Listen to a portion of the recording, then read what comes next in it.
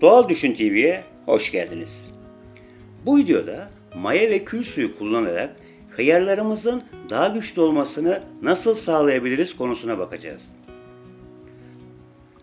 Mayayı topraktan kullanırsanız bitkiler için iyi bir uyarma olur.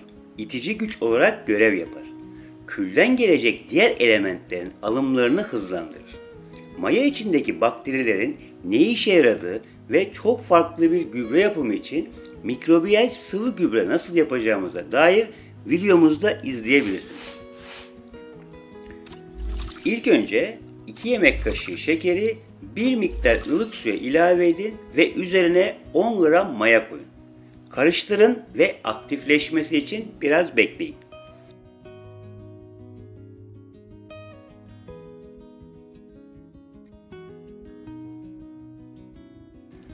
Bu arada yarımlık kavanozlardan bir kavanoz külü 4 litre civarındaki suya koyun 2-3 saat bekleyin.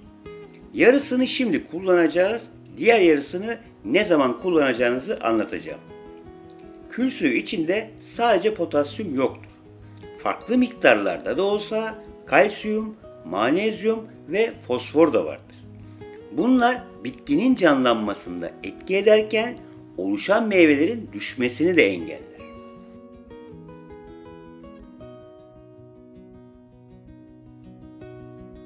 ...8 litre temiz suya 2 litre kül suyu ve hazırladığımız mayayı karıştırıyoruz ve bununla her köke 1 litre gelecek şekilde sulama yapıyoruz.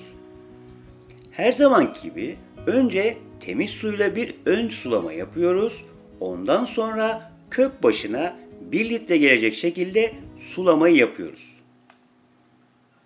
Bu işlemi yaptıktan 2 gün sonra 8 litre suya kalan 2 litrelik kül suyunu da koyup tekrar sulama yapacağız. Üst gübreleme olarak sadece kül suyu veya sadece mayalı su kullanabilirsiniz.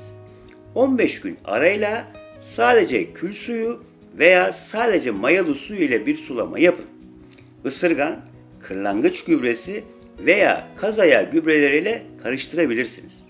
Hatta içine enzim de koyabilirsiniz. 15 günde bir böyle bir karışım yapıp bundan bir hafta sonra sadece mayalı su ile de sulama yapabilirsiniz.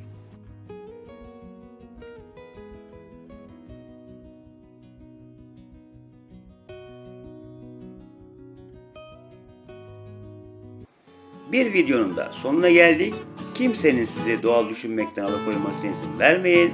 Sağlıklı kalın, sağlıcakla kalın.